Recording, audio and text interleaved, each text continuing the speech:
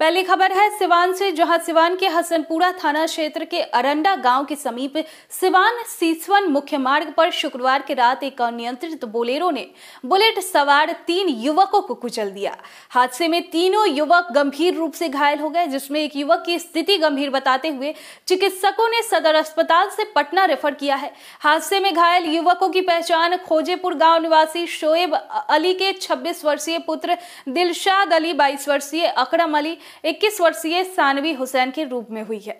वहीं घटना में शोएब अली की स्थिति गंभीर बनी हुई है। वहीं हादसे के वक्त स्थानीय लोगों की मदद से सभी पीड़ितों को उठाकर आनंद फानन में हसनपुरा के एक निजी अस्पताल में इलाज के लिए लाया गया। इसके बाद चिकित्सकों ने सभी की स्थिति गंभीर बताते हुए प्राथमिक उपचार के बाद सदर अस्पताल रेफर कर दिया। प्रत्यक्ष दर्शियों ने बताया कि बोलेरो तेज रफ्तार से में सीसवन की तरफ़ जा रही थी। इसी दौरान बकरी को बचाने के चक्कर में बोलेरो अनियंत्रित हो गई और और सीधे युवक के बुलेट बाइक में टक्कर मार दिया, जिसके बाद तीनों बाइक सवार युवक सड़क से करीब 10 फीट दूर गड्ढे में चला गया। घटना की सूचना के बाद मौके पर पहुँची पुलिस ने यातायात को फिर से चालू कराया। वही घायलों को सदर अस्पताल भेजवा मामले की जाँच शुरू कर दी है। अगली खबर है, गोपालगंज से जहाँ शैक्षणिक वर्ष 2023-24 के लिए सैनिक स्कूलों में प्रवेश के लिए ऑनलाइन आवेदन पत्र जमा किया जा रहा है।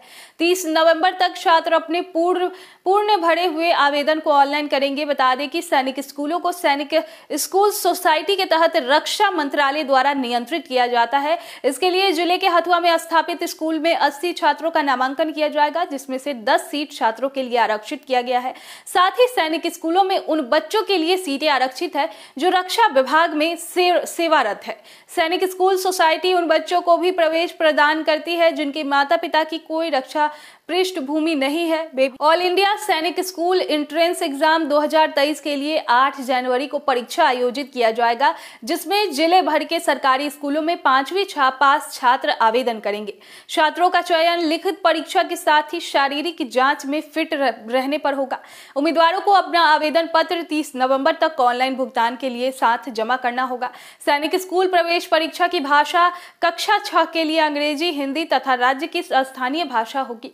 वहीं कक्षा नौवीं के लिए केवल अंग्रेज़ी भाषा में लिखित परीक्षा होगी। उम्मीदवार जो सामान्य ओबीसी और रक्षा श्रेणी से संबंधित है, उनको छह सौ पचास रुपए तथा अनुसूचित जाति, अनुसूचित जनजाति वर्गों के लिए उम्मीदवारों के लिए पाँच रुपया परीक्षा शुल्क जमा करने होंगे।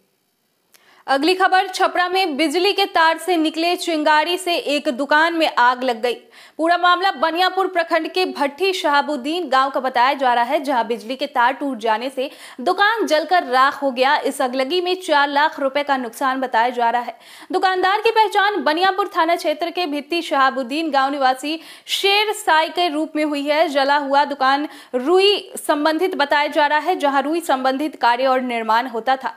दरअसल शनिवार शनिवार की हले सुबह पोल से बिजली का तार टूटकर दुकान पर गिर गया, जिसके बाद दुकान में आग पकड़ लिया। स्थानीय लोगों की तत्परता के चलते आग पर काबू पाया जा सका। लेकिन जब तक आग पर काबू पाया जा सका, तब तक आग ने चार लाख रुपए का नुकसान पहुँचा दिया था। इसमें रुई से बने सामान सहित नगद रुपए भी जलकर राख हो गए।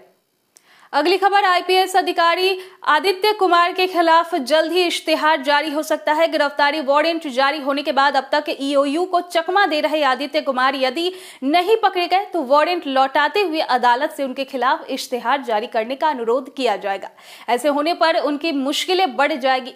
इश्तेहार जारी होने के बाद वह हाजिर नहीं हुए तो कुर्की जब्ती की जाएगी। पटना उच्च न्यायालय के मुख्य न्यायाधीश के नाम पर डीजीपी समेत अन्य अफसरों को फ़ोन करा के मामले मामले में अभियुक्त आदित्य कुमार के खिलाफ 4 नवंबर को वारंट जारी किया गया था। गिरफ़्तार के लिए आर्थिक अपराध इकाई ने डीएसपी रैंक के अधिकारी के नेतृत्व में विशेष टीम का गठन किया है।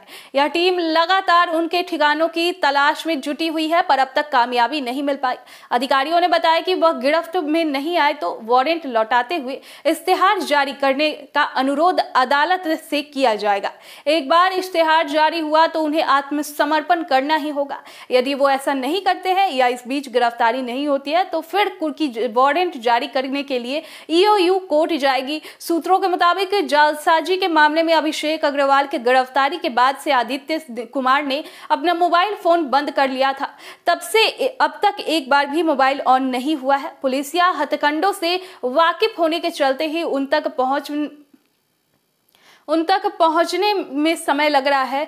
ऐसे भी संभावना जताई जा रही है कि वह किसी अन्य मोबाइल नंबर का इस्तेमाल ज़रूरी संपर्क के लिए कर सकते हैं। हालाँकि ईओयू की भी सभी पहलुओं पर पैनी नज़र है।